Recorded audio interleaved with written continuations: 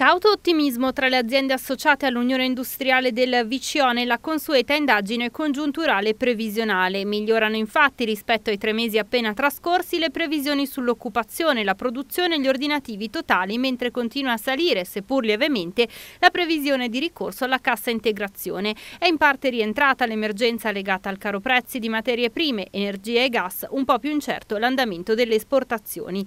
Molto incoraggiante il dato riferito alla produzione industriale un quarto delle aziende prevede un incremento della propria capacità produttiva. Era da tre trimestri che non si registrava un dato così positivo. Per quanto riguarda l'export, il dato cala rispetto alla precedente rilevazione per due aziende su tre. Comunque il livello delle esportazioni si manterrà pari a quello di inizio 2023. Il 25% delle aziende interpellate prevede un incremento della propria forza lavoro, mentre solamente il 3,1% di esse pensa a una diminuzione. In leggero aumento la previsione di ricorso alla cassa integrazione guadagni, che si attesta al 18,7% per aprile-giugno.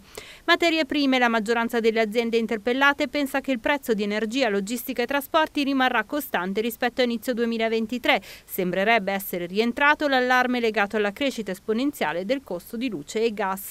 Ancora, circa il 72% delle aziende intervistate, in crescita rispetto al primo trimestre 2023, prevede investimenti per il secondo trimestre, giudicati significativi dal 25% degli interpellati. Siamo piuttosto soddisfatti del risultato della nostra rilevazione, ha affermato il presidente di Unione Industriale VCO Michele Setaro. Le preoccupazioni dei mesi scorsi legati al caro materie prime, soprattutto all'energia, sembrano almeno in parte superate. Ciò permette alle nostre aziende, variegate per tipo di produzione e struttura dimensionale a tutto vantaggio del territorio, di dedicarsi con maggiore serenità alle loro attività, sentiment da cui derivano previsioni positive su occupazione, produzione, ordinativi e propensione a investire. Non è poco.